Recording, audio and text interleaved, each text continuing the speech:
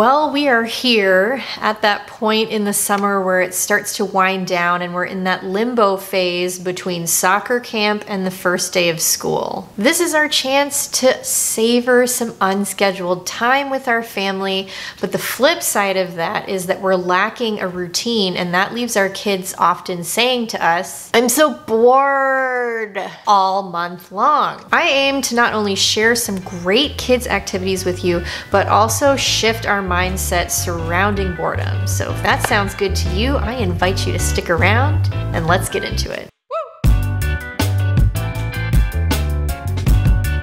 What is up, Speaker fam, and welcome to another episode of the Speak Organized podcast. I'm your host, Melanie Summers, professional organizer, decluttering expert, and productivity based life coach.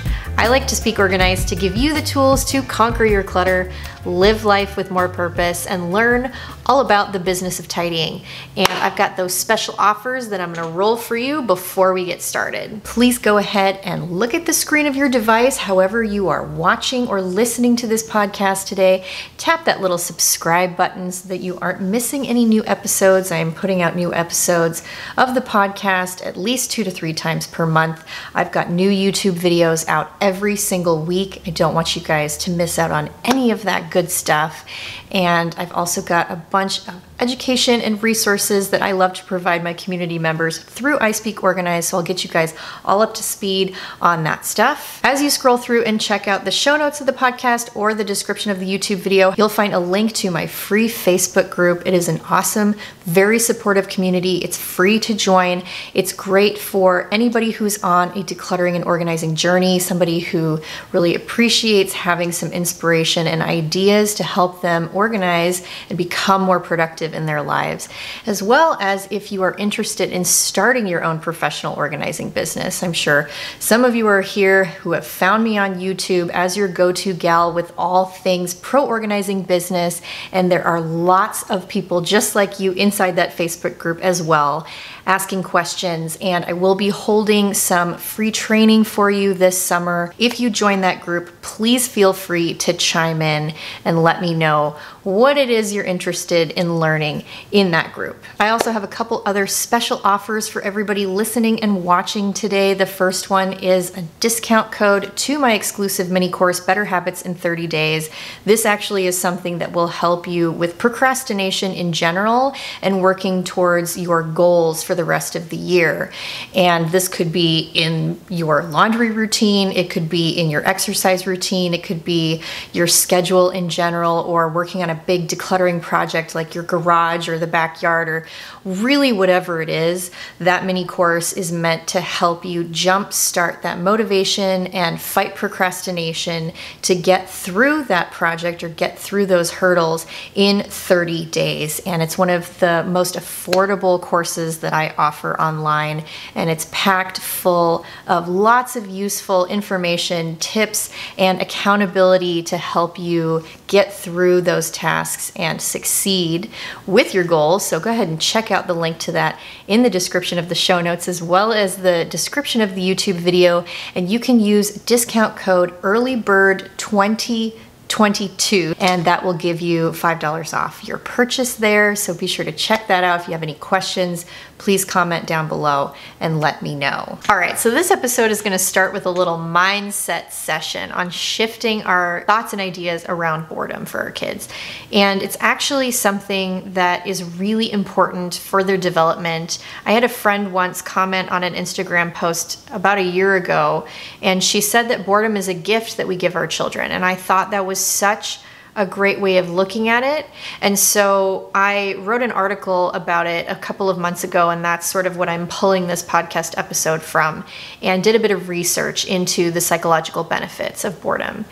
And it really does help our kids with their creativity, conjuring up new ways of doing and thinking about things. It helps them develop self motivation, which is super important. It helps them with their problem solving skills because they're having to obviously come up with new ways of interacting with the world around them and just developing that ability to be independent and capable. And all of this is a recipe for our kids to help develop their authentic selves and discover what their interests are. It's really just a good thing for them. And it's also good for us, all the pressure that we find ourselves under as parents to make sure that our kids are involved in all the right activities and keeping up with all the rest of them and allowing them a chance to just be themselves and develop that authenticity through boredom is such a good thing. However, I realize that it's easier said than done, and it's nice to have at least a few ideas of how to help nurture and foster that creativity with your kids. So, today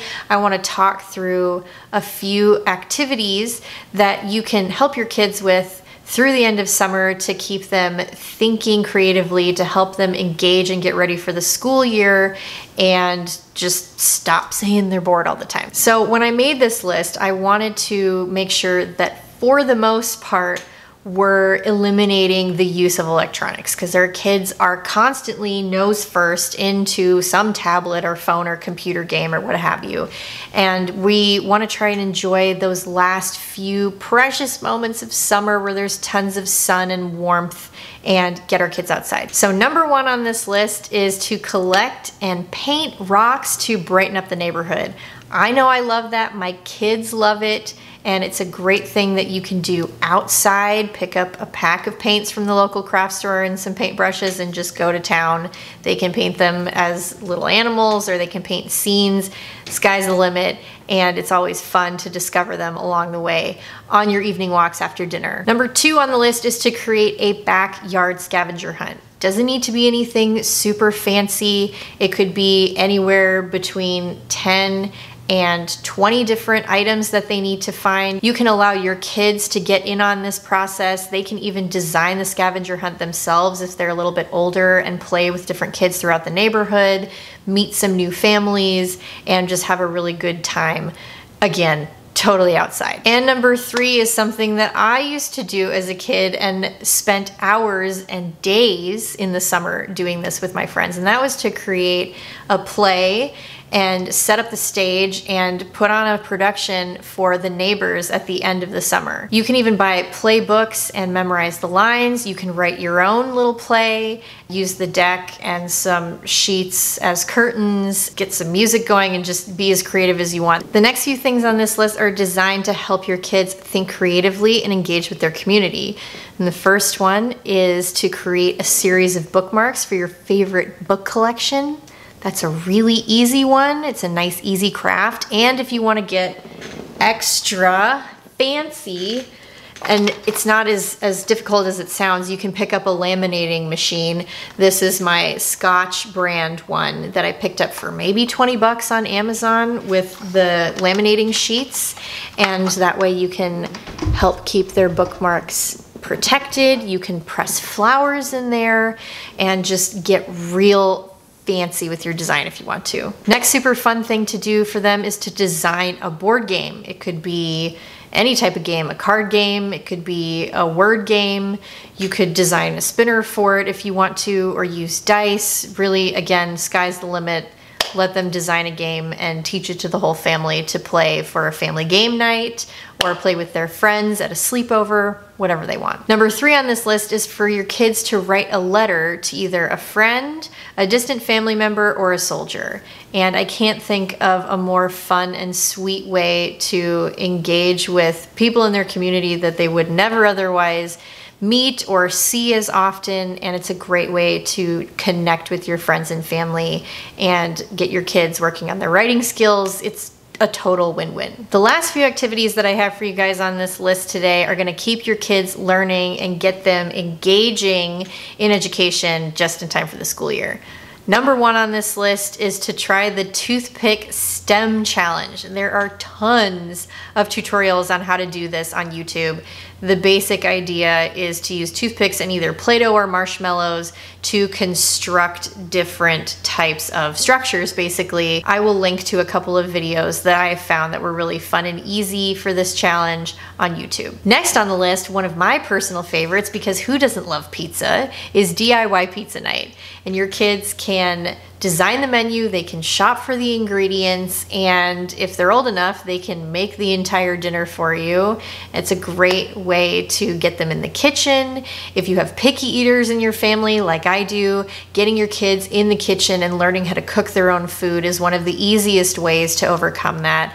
And it's super fun, low stress activity and it's going to feed everybody, which is going to make everybody a lot happier, less hangry. The last idea on this list is a little chemistry experiment where your kids will learn how to make their very own bubble solution. I don't know a single kid that doesn't love bubbles, especially if you have a bubble gun or whatever. You can also make your own wands, bubble wands with this.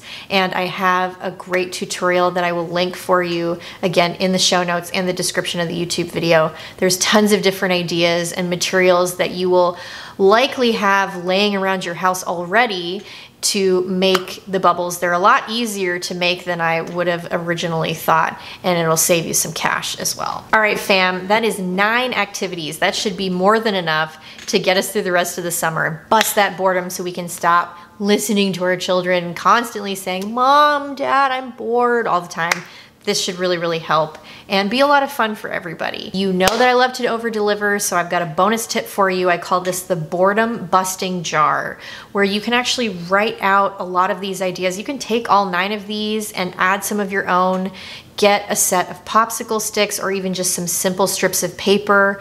Write these different activities down on the popsicle sticks or the, the paper and stick it in the jar.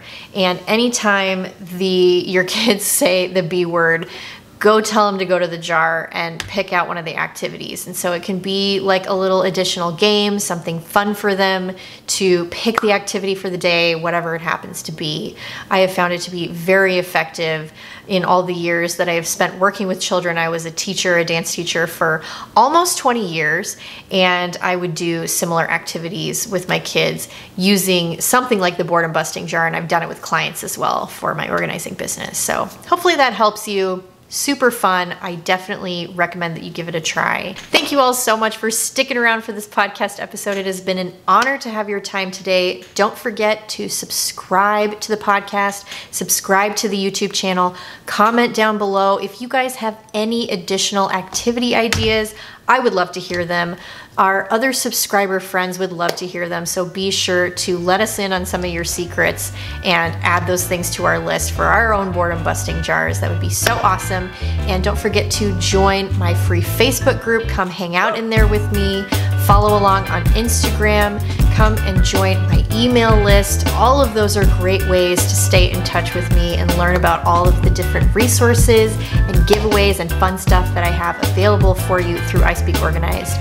Beyond that, I will see you guys in the next episode, and I hope that you have a fabulous day. Take care.